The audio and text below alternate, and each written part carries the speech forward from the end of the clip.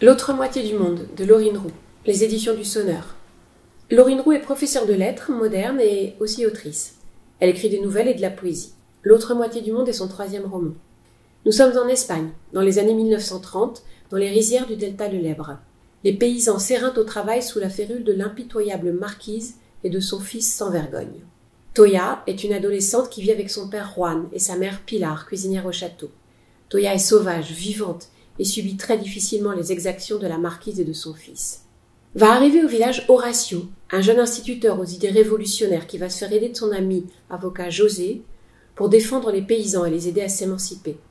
Toya sera notre témoin de ce soulèvement paysan qui aura lieu dans un contexte de guerre civile entre les forces républicaines et les insurgés nationalistes. Roman sur un épisode historique fondateur en Espagne, l'autre moitié du monde est également une chronique sociale et humaine sur le pouvoir et la différence de classe, la lutte pour l'égalitarisme est portée par des personnages très forts et attachants, qui nous font vivre cette période de l'histoire sous un angle profondément humain.